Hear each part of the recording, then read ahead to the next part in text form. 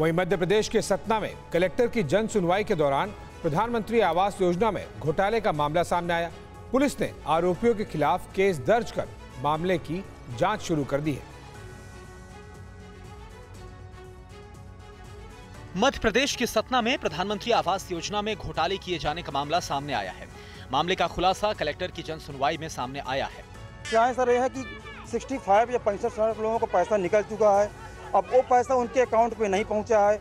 अब उनके डॉक्यूमेंट्स लगे हैं। उनका मान लीजिए आधार कार्ड हो गया पैन कार्ड हो गया पात्रता पर्ची हो गई उनकी फ़ोटो हो गई उनके हस्ताक्षर हो गए सब कुछ लगाने के बाद अकाउंट नंबर उनका लेने के बाद उनके अकाउंट में पैसा नहीं पहुँचा।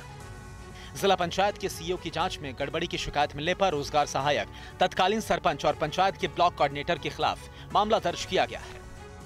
कि ग्राम रखवाड़ा के कुछ ग्रामीणों को प्रधानमंत्री आवास योजना ग्रामीण का लाभ ना दिया जाकर उनके नाम से राशि आहरण कर ली गई है। इस आवेदन पत्र की जाँच जनपद पंचायत सीईओ नागौद के द्वारा की गई और उन्होंने प्रथम दृष्टया ये मामला सही होना पाया।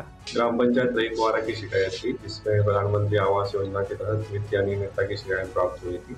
इसमें जनपद और जिला स्तरीय जो अधिकारी कर्मचारी हैं, उनके माध्यम से आज जाँच की गई। प्रथम दृष्टया शिकायत सही पाई गई है।